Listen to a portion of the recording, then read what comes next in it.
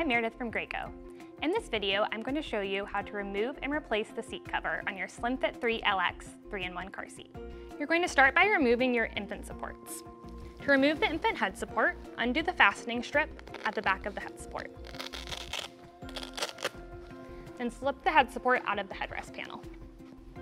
To remove the body support, you can undo the buckle and the chest clip. If you need to, you can loosen the harness using the button at the front of the seat. Then, to remove your body support, make sure you slip the buckle through. To remove your harness covers, undo the fastening strips on either side. Next, we're going to remove the headrest panel. Lift the headrest to the highest position using the handle at the top of the seat. Undo the snaps at the front of the seat. Undo the tab at the top of the headrest.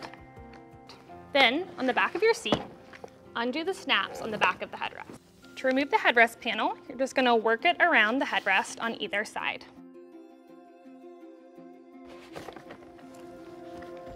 And then slide it out of your harness straps. Next, we're going to remove the center seat pad. Undo the snaps on either side of the car seat. There's a snap on the side, at the top, and on the bottom.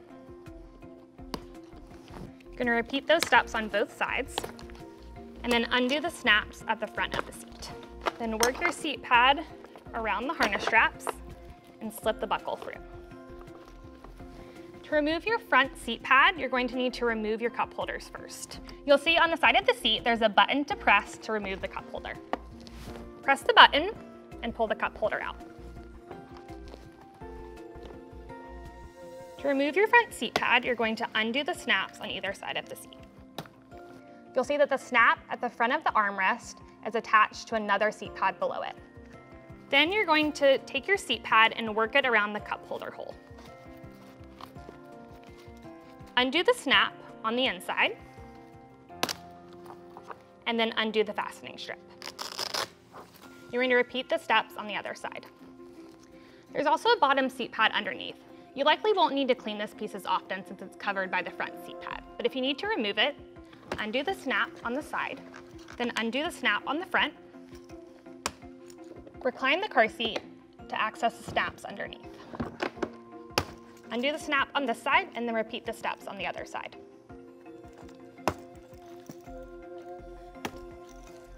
To remove your side panel covers, you're going to start by undoing the snaps on the inside of the car seat.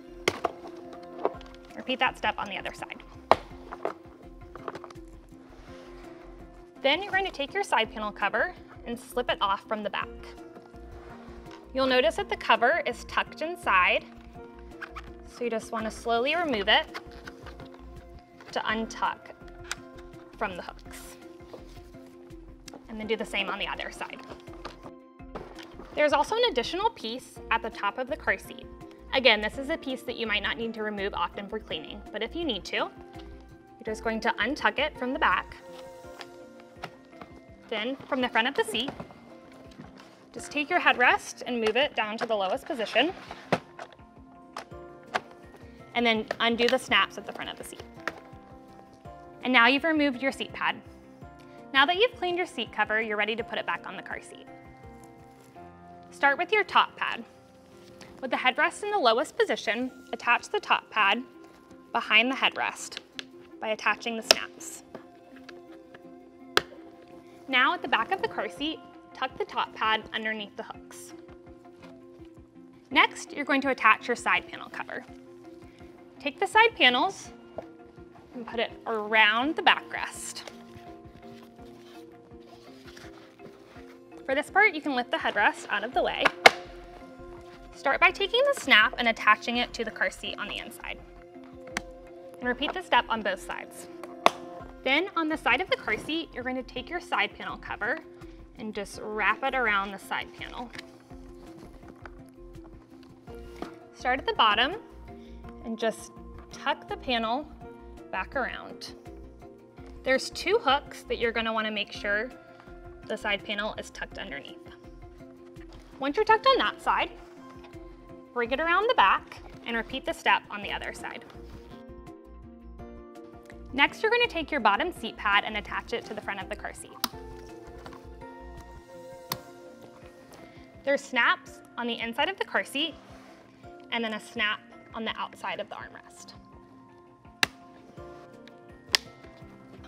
Recline the car seat to access the snaps underneath and attach on either side.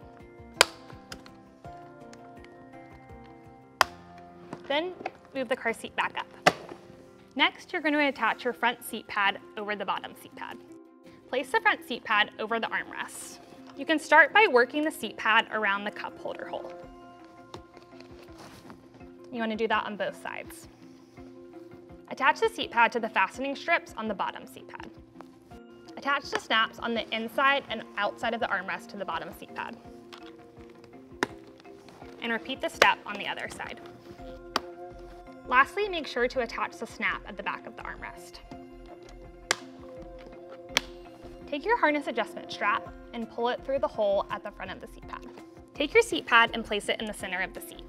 You want to make sure that when you pull the buckle through, the slot on the seat pad aligns with the slot on the car seat. Attach the seat pad to the snaps at the front of the front seat pad. Take your harness straps and place them in front of the seat pad. You want to make sure that the harness strap is routed through the slot opening on the seat pad.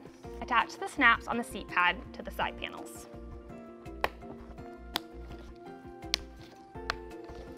Next, take your headrest pad and place it over the headrest.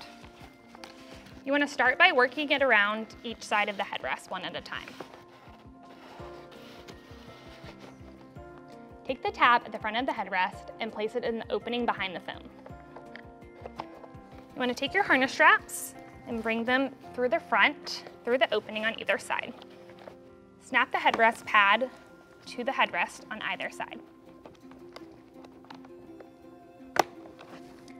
On the back of the headrest, you're going to attach the two snaps. Take your cup holders and reattach them to the holes on the front of the car seat. Take your harness covers and route them around the harness. You want to make sure that the fastening strip is facing out.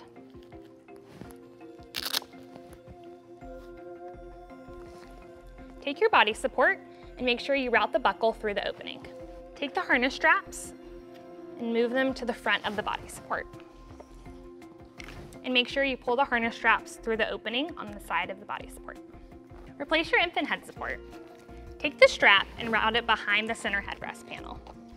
Attach the fastening strips. Move the headrest back down to the proper position for your child. And now you're ready to put it back in the car.